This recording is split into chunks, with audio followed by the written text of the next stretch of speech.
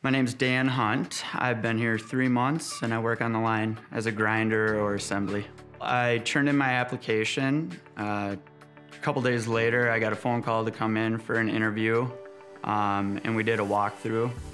I went in for the testing and everything um, at the hospital and that took about a week and I started my orientation the following week. So the whole process took about two and a half weeks. It's a great place to work.